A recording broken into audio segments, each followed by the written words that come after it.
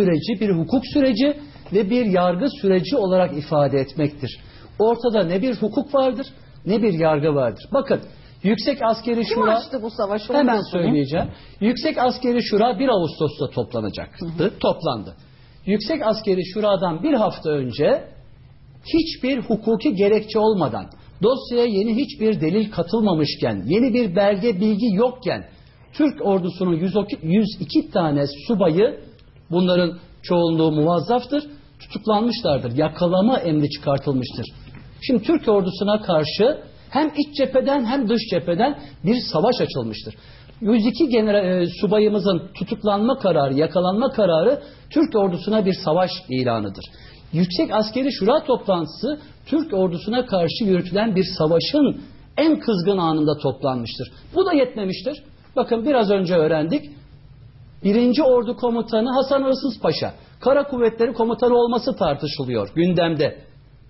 Beşiktaş savcısı Zekeriya Öz yetinmemiş o 102 tutuklamayla yakalama kararıyla onu da sorguya çağırıyor. O da yetmiyor. Genelkurmay Adli Müşaviri Hıfsı Generali de Sayın Hıfsı Bey'i de e, ifadeye çağırıyor. Bakın burada bunu biz defalarca söyledik. Yüksek Askeri Şura'da tayin ve terfiler F tipi merkezce yapılmaktadır. Daha da net söyleyelim. Fethullah Gülen Yüksek Askeri Şura'nın başkanı durumundadır. Bu kadar nettir. Nasıl?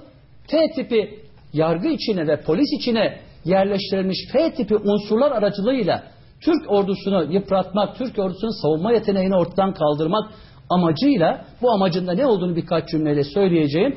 Suç üretmekte, suç atmakta, iftiralar, bir takım e, tertipler hazırlamakta ve böylece Yüksek Askeri Şura'da Türk ordusunun kendi gelenekleri çerçevesinde terfilerin, tayinlerin yapılabilmesini engellemektedir. Böylece yapılan nedir?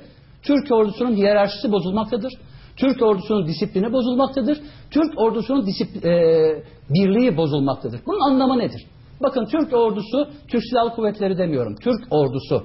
Türk ordusu bizim bu Anadolu coğrafyasında dünyanın bütün gözünün üzerinde olduğu bir coğrafyada Türk milletinin Kürdüyle Türküyle her etnik grubuyla Atatürk'ün tarifindeki gibi Türkiye Cumhuriyeti'ni kuran Türkiye halkına Türk milleti denir tarifindeki Türk milletinin huzur içinde, refah içinde, birlik içinde yaşayabilmesi için Türk ordusu bizim için olmazsa olmazdır.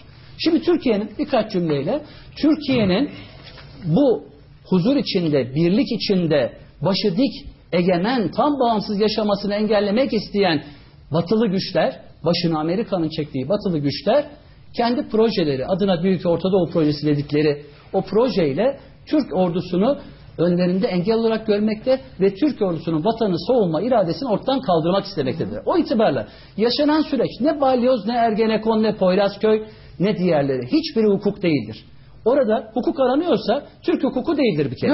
Bunu net bir şekilde belirleyelim. Hukuk, o anlamda bir avukat kimliğimle söylüyorum. Buradaki tartışma bir hukuk tartışması değildir. Türkiye'nin varlık yokluk tartışmasıdır. O itibarla ben meseleye Türkiye'nin evet Türkiye olacak mı? Türkiye egemenliğini, bağımsızlığını sürdürecek mi? Bunu e, geleceği o açıdan tehlike altındadır Türkiye'nin. Bunu tartışmamız lazım. Buna kafa yormamız lazım. Sayın Neşat Ezlen e, e, komutanımız da e, sanıyorum bu fikirlere katılıyor.